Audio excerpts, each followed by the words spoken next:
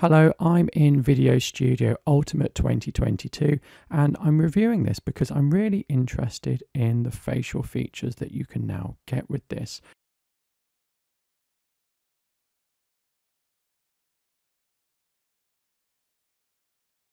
So I'm going to talk about the clips I've got. These clips are from Pexels.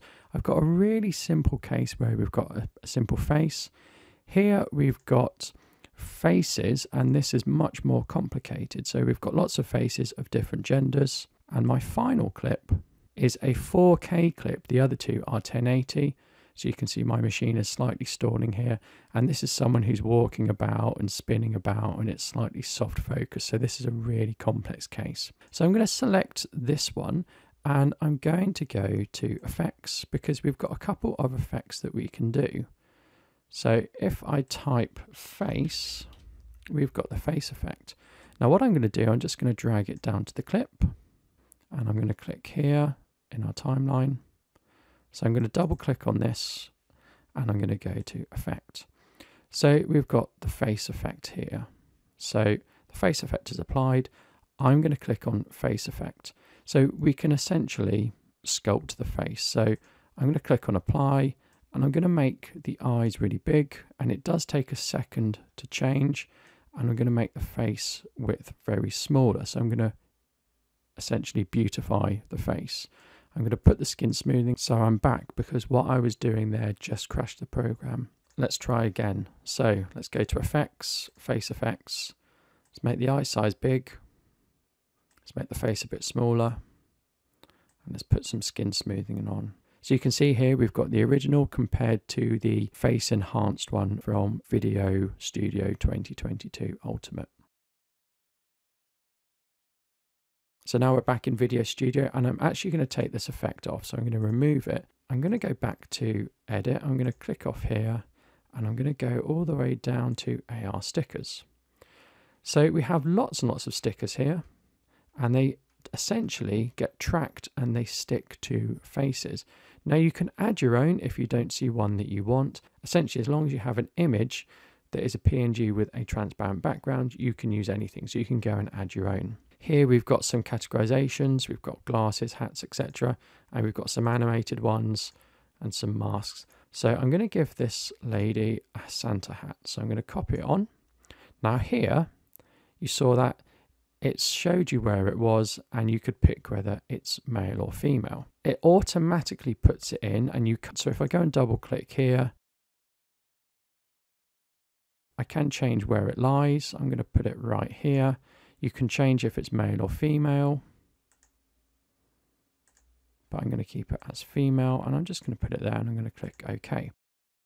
I need to put it lower really, so I'm going to double click on it can double click and then click customize and I'm going to make it a little bit bigger and I'm going to put it there and I'm going to click OK.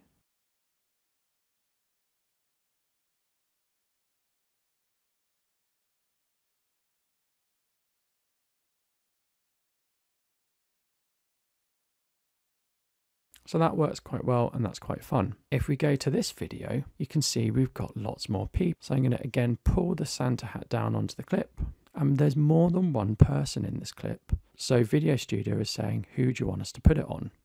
So I'm going to put it on this lady to start with. So this lady is actually turning around. She's moving a lot and she's turning around.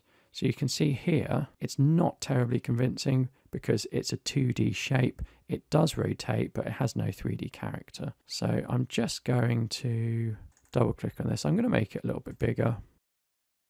I'm going to put it there and I'm going to click OK. And I'm going to go back to my AR filters and I'm going to put a mouth on someone else. So I'm going to put a moustache on someone. So I'm going to put moustache 2 down here and I'm going to go for this person here. So we've got a moustache here.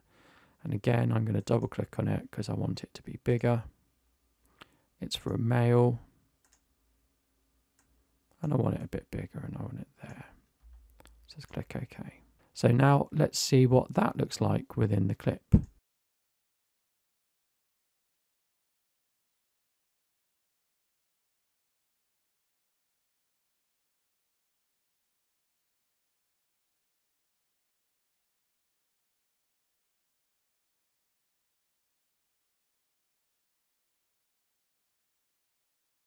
So it does quite a good job. However, when people turn away from the camera and you can't see their faces, things obviously disappear. And I'm okay with that. I think that's fine because if you're adding these sort of things, you would have people facing you all the time where you can see their face. There's no point adding these things and having people moving backwards and forwards and rotating. So this is going to be the more tricky one. This is not only 4K, you can see it's taking a long time to load and it's jumping about a bit. So not only is this a 4K clip, but the woman is turning around, she's in and out of focus. Let's add the goofy teeth here. So that's doing quite a good job there. And I'm just going to customize this. I'm going to say she's a female and that's where it is. I don't know whether you have to do that.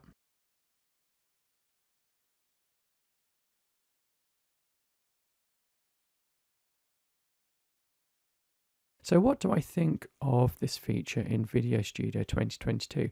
I think it's good. I'm very happy with it. I like the way it's automated. You can do this yourself manually in other things like Final Cut Pro, but you don't get all the stickers that come with it. You'd have to make your own. And this seems like a really nice, fun way to do it. Video Studio 2022 Ultimate is £90 and it seems quite a good editor from my experience so far. This video is solely focusing on the face features and the AR stickers, but I'm going to be doing some more videos on Video Studio Ultimate 2022 and I'm going to be giving my full review soon. Thank you, goodbye.